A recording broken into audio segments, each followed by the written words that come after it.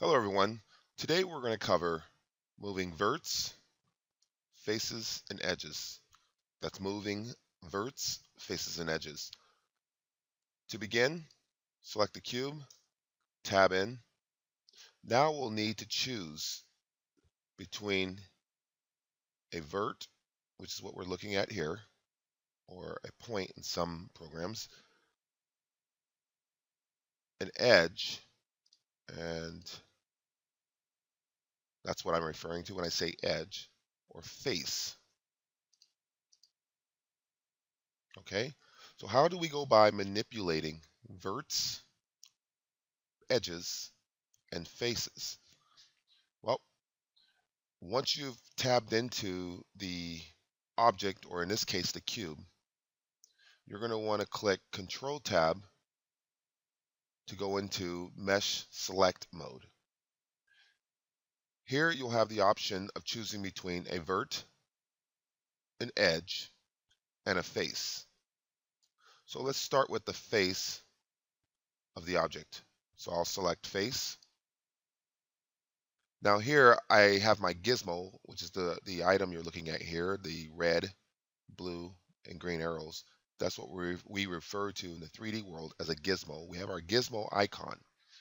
This icon will give you the option of, of, in this case, moving a face. So by pulling on the green arrow, I can move that face around. By pulling on the blue arrow, I can move that face up and down.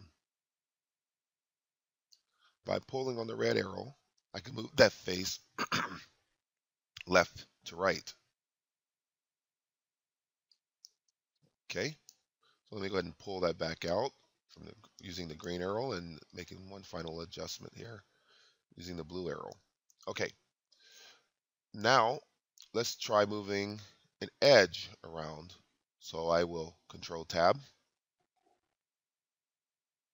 select edge, select an edge, and again, adjusting the blue, green, and red arrow, I will start to move an edge around. Let's start with the blue arrow. Up and down. Using the green arrow, left to right. And using the red arrow, backwards and forwards. Okay. Now let's go and adjust a vert. Again, Control Tab, select Vertex, select a vertex or a point, and again adjust the point up and down. Sideways, left and right.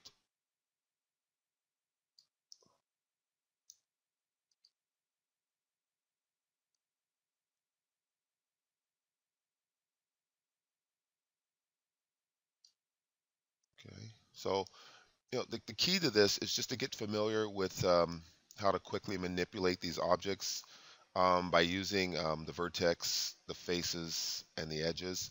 Um, go in, just practice. Uh, it, will take a little, it'll take just about a second to get used to it, but it's going to help you tremendously as you move forward with working in Blender.